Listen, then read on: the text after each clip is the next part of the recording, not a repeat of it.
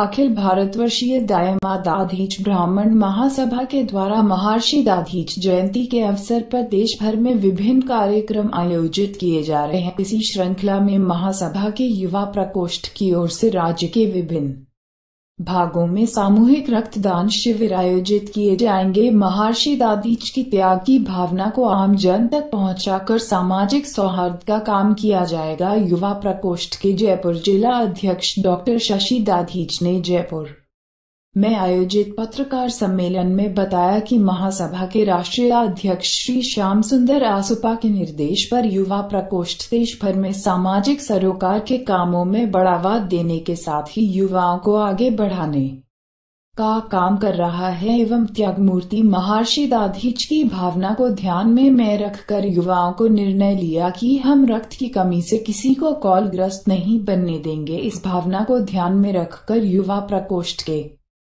राष्ट्रीय अध्यक्ष एडवोकेट अंकुर बेहद एवं प्रदेश अध्यक्ष राजेश तिवारी के निर्देश पर राज्य के तेरह स्थानों पर सामूहिक रक्तदान शिविर आयोजित किए जा रहे हैं।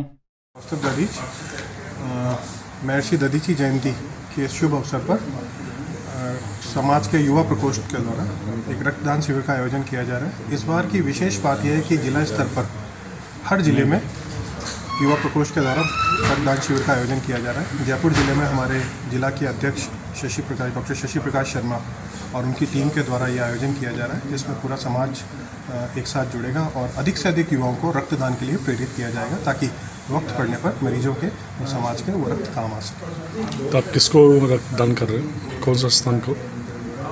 हम लोग राजस्थान हॉस्पिटल में इस कैंप का आयोजन कर रहे हैं और कब होगा? कब होगा? मानव? मानव नहीं नहीं मानव सेवा तो है। वो तो हो ही गया कि समाज के लिए है। ये कल सुबह से। कल सुबह नौ बजे से।